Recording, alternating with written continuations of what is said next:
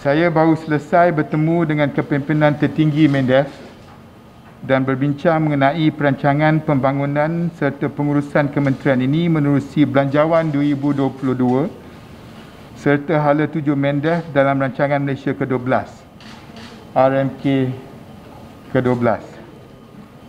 Antara agenda utama yang diberi tumpuan dan penekanan oleh Mendef menerusi Belanjawan 2022 serta RNK 12 adalah pertama memperkasakan usaha membela kebajikan anggota veteran Angkatan Tentera Malaysia serta ahli keluarga mereka terutama daripada sudut perumahan serta perkhidmatan kesihatan.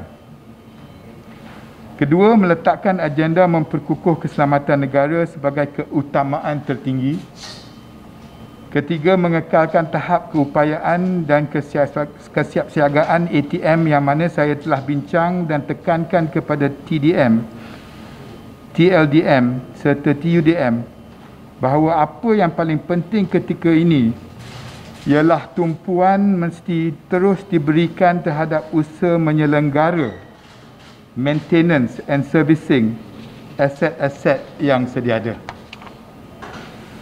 Berhubung perkembangan beberapa inisiatif yang ada di Mendef berkaitan teras perumahan daripada 30,033 rumah keluarga Angkatan Tentera yang dijangka siap dibina pada tahun 2030 5,769 unit telah siap dan 1,509 unit sedang dibina. Selain itu, 3,500 unit rumah sasar sedang dibina di kem Sungai Besi, manakala 7,343 unit akan dibina di kem Genting Kelang dan kem Waterburn. Berkaitan teras kebajikan, Mendef merancang menaik taraf 5 hospital Angkatan Tentera dan membina 5 buah politeknik baru. Setakat ini, politeknik di kem Penrison telah 99% siap. Tiga politeknik sedang dibina dan satu lagi bakal dibina. Berkaitan teras keselamatan, selari dengan titah baginda yang di-Pertuan Agong pagi tadi, yang mahu sebarang usaha mencabar kedaulatan negara ditangani sebaik mungkin.